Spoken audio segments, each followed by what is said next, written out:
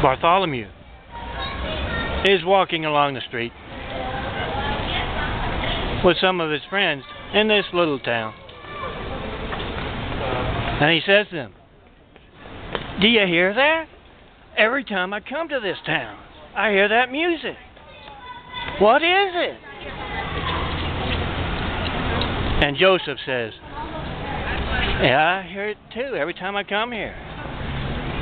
It must be, you know, the devil.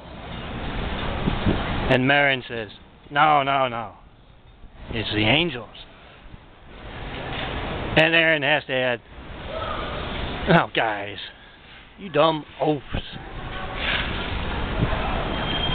That music means not to talk about the truth around that man.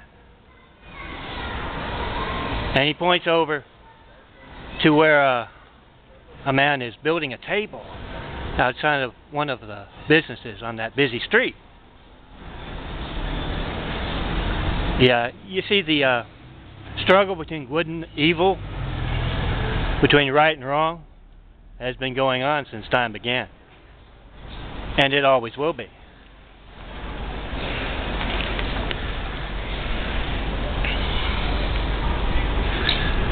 It was even going on back in the Middle Ages when Bartholomew was walking with his friends.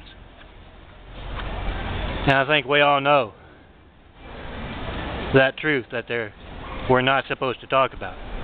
I think we all know what that truth is.